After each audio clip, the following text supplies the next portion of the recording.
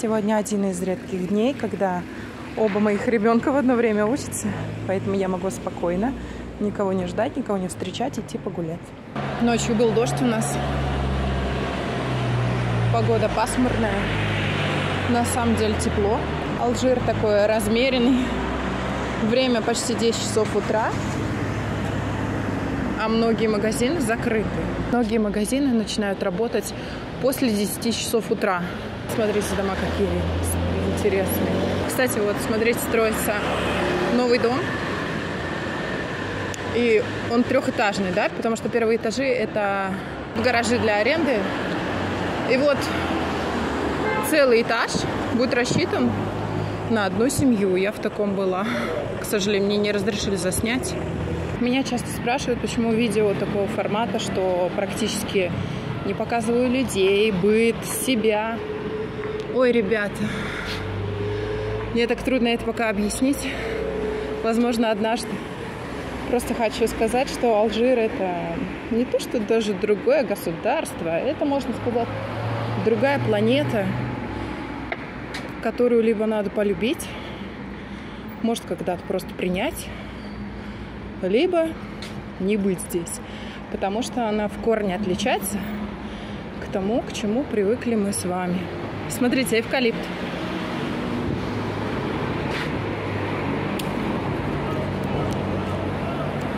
Видите, как у него кора интересно облезает?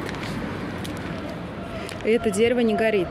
Ну, если прям сильное пламя, пламя, конечно же, сгорит, просто жароустойчивое считается это дерево. Пахнет прям эвкалиптиком. В Алжире запрещено снимать. Люди множество суеверные. Как вы знаете, это мусульманская страна, большая часть страны мусульмане. Есть другие религии, но это крайне редко. Как вы видите, очень они скрытные, видите, всегда жалюзи. Многие семьи живут э, закрыт даже... Ой, тут стройка. Мамочки, папочки, подальше отойти. У них всегда какие-то матовые окна, чтобы люди, не дай бог, не посмотрели жалюзи, и поэтому многие люди даже днем живут с искусственным светом, включают, да, свет, чтобы, не дай бог, кто-то не посмотрел в их окна. Женщины очень боятся, что их снимут на камеру. Например, моя учительница прислала мне готовое видео праздника с мечети, где она была одета в никабе. Никаб – это где видны одни глаза. Я спросила разрешения. Смотрите, отвлекусь. Стройка. В Алжире вот очень-очень-очень очень много стройки. Все строится, строится, перестраивается. Люди так легко покупают, сносят, строят новые, старые. Интересно. Продолжу про учительницу. Она сразу начала мне писать, мол, Таня, нет, нет, пожалуйста, не выкладывай мое видео, мой муж против. Но я встретила тебя на улице, бы даже не узнала. Но при этом нет, нельзя. И тут я не могу понять. Ладно, там, допустим, когда лицо видно но когда только твой силуэт и глаза, нельзя. У некоторых я просила заснять, как готовят. Особенно мне интересно, как готовят в деревнях, потому что там сохранены еще традиции. Много-много там всего готовят, ничего практически не покупают.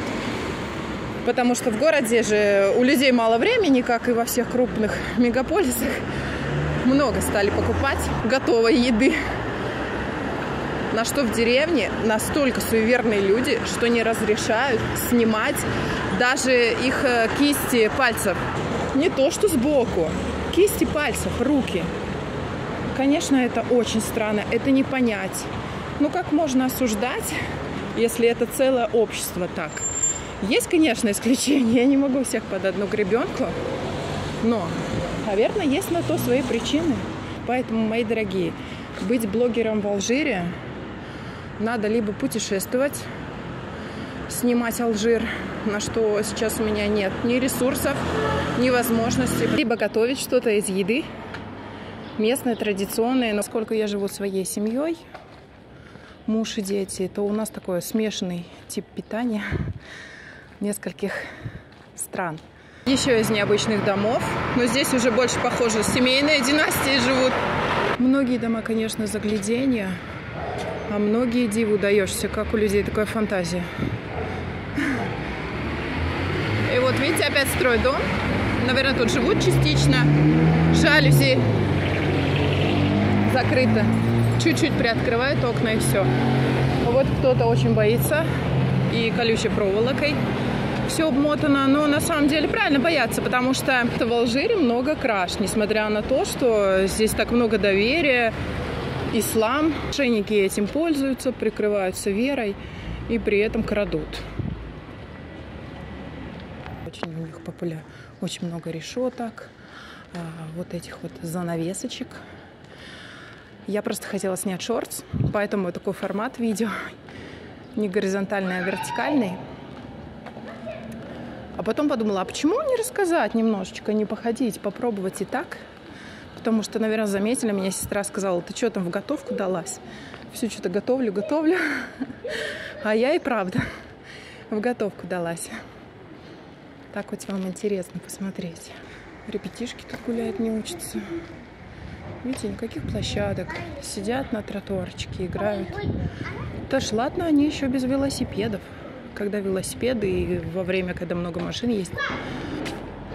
Здесь вообще ничего не разрешается снимать. Например, я бы хотела снять достаток чьей-то семьи, но они это очень прячут, боятся с глаза. Счастье любит тишину и так далее. Поэтому в Алжире совершенно не получится вести блогерство, как, например, в Индии показывают всю жизнь наизнанку. В Корее, да, девчонки много показывают. Нет, Алжир, как был таинственный, так он и останется таинственный, я думаю. Почему я не снимаю себя? Не снимаю себя я по нескольким причинам. Я хотела иметь канал другого формата, но мой муж категорически другого мнения. И да, кстати, выходя замуж за алжирца, знайте, что муж всегда прав. Все по-другому быть не может. Он не разрешил мне снимать себя, что полиция идут. Стоят посреди дороги. Кого-то ищут, наверное. Это тачки стоят э, утром, убирают, хотя видите, да, как чисто. Потом тачки так привешивают. Сначала я была категорически не согласна с этим, старалась найти какой-то компромисс в плане, может, я буду как-то одеваться там, как тебе нравится. Но нет, он категорически против. И э, хотя я считаю, что у нас семья такая современная, они принимают и русскую еду, потому что с этим здесь большая проблема. Девочкам прям обидно, что не хотят даже попробовать нашу еду. У меня и в одежде более такие, в путешествиях, в учебе, развитии, во всем они современные. Ну вот, например, я снимала праздник в семье, свадьбу, и там были видны только платья, ноги. Все, до пояса женщины сняты. На что мне попросили удалить видео, потому что это прям вызвало такой негатив в семье. Опять-таки же, круто быть блогером в Алжире. В общем, поставил мне такой он ультиматум, что нет, себя не снимать, детей не снимать, его не снимать. Я на самом деле даже выбирать не стала, естественно. У меня семья будет на первом месте, поэтому я стараюсь для вас снимать по возможностям. Вторая причина то, что я уже интегрируюсь в данное общество. Много лет уже на это, конечно, прошло. До конца я не интегрировалась, но все же. Я уже понимаю, маленько вижу, знаю опыт предыдущих каких-то наших женщин, где э, дети через какое-то время начинают стесняться, что родители, например, ходят без платка, просят не подходить к школе и так далее. Смотрите, оливки. В Биджае уже собирают около моря. У нас еще какие-то зелененькие на улице прям растут. И я понимаю прекрасно, что если я сейчас буду показывать себя, меня начали смотреть алжирцы, я вижу по аналитике, по статистике, что меня смотрят в Алжире. Конечно, понимаю, что это большая часть русскоговорящих. Но, например, вся моя семья смотрит. Невестки и так далее знают, где что, когда я, где я была, куда я ездила. Поэтому муж попросил, что лайка особо не будем рассказывать. Если в России может, можно стать звездой какой-то, и тебя будут уважать, что ничего себе, лидер мнений, то в Алжире, не в самой столице, конкретно про наш город, может обернуться другой стороной медали для моих детей. То есть это будет какой-то повод для того, чтобы их обидеть, что мама вот такая, не такая.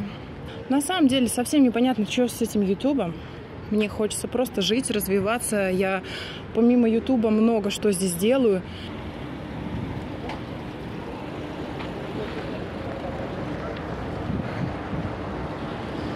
Вот научилась перебегать дороги. А то раньше стою, стою, когда меня тут пропустят.